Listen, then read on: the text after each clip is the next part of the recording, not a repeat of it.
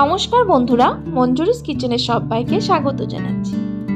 সন্ধেবেলা হতে না হতে কিন্তু বাচ্চারা কিছু স্ন্যাক্স খেতে পায় না তাই বেশি রকম ঝামেলা ছাড়া আজকে আমি একটা রেসিপি নিয়ে এসেছি। আমার আজকের রেসিপি হলো আলু কচুরি।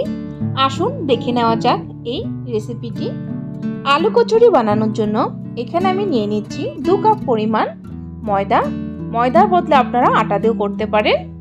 দিয়ে দিচ্ছি স্বাদ মতো নুন, তারপর দিয়ে দিচ্ছি এক স্পুন পরিমাণ চিনি, দিয়ে দিচ্ছি এক স্পুন পরিমাণ আজবান আর দিয়ে দিচ্ছি এক স্পুন পরিমাণ কালো জিরে। তারপর ময়ানের জন্য দিয়ে দিয়েছি এক টেবিল স্পুন পরিমাণ সাদা তেল। সাদা তেলটাকে দিয়ে ভালো করে ময়ান দিয়ে নিব। তারপর আমি দিয়ে দিচ্ছি টু টিস্পুন পরিমাণ চিলি ফ্লেক্স। চিলি ফ্লেক্স না থাকলে আপনারা স্কিপ করতে পারেন। চিলি ফ্লেক্সটা একদমই অপশনাল চিলি ফ্লেক্সটা দিয়ে ভালো করে মেখে নিব।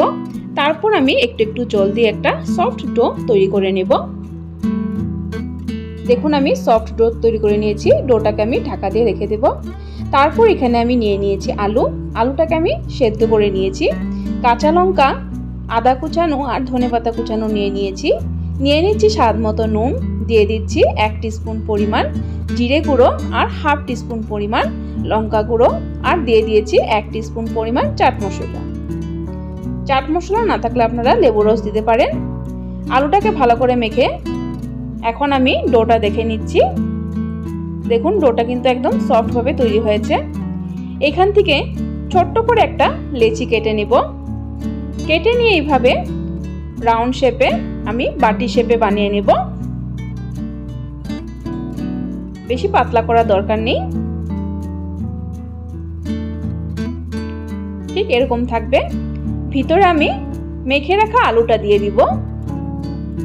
আলুটাকে দিয়ে আলুর পরিমাণটা একটু কম দেব, নইলে বেড়ে যেতে পারে।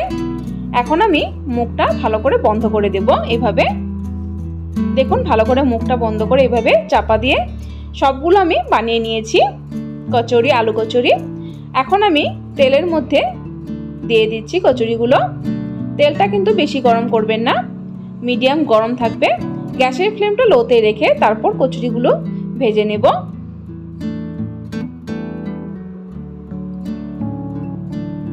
দেখুন আমার আলু কচুরি তৈরি হয়ে গেছে। বন্ধুরা, কেমন লেগেছে আমার আজকের এই রেসিপিটি কমেন্টে অবশ্যই জানাবেন। ভালো লাগলে একটা লাইক দিবেন। আমার চ্যানেলে নতুন বন্ধু হয়ে থাকলে আমার চ্যানেলটাকে সাবস্ক্রাইব করার জন্য অনুরোধ রইল। সাবস্ক্রাইব করে পাশে থাকা বেল আইকনটা অবশ্যই ক্লিক করে দিবেন।